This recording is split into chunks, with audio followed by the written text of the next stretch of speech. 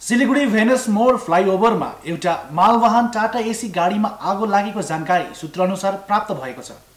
Siliguri Venus मोड फ्लाइओभरमा एउटा मालवाहन Tata AC गाडीमा आगो लागेको कारण गाडी पूर्ण रूपमा जलेर ध्वस्त भएको छ।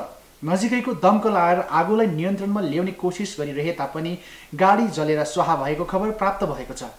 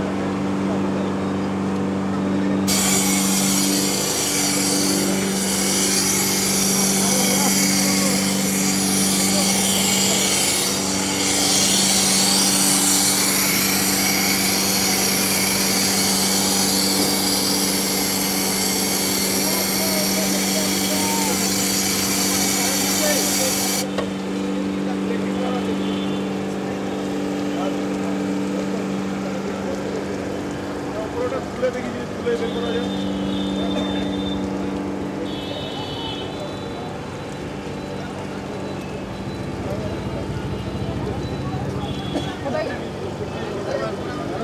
Yeah, we're going to get to the next meeting.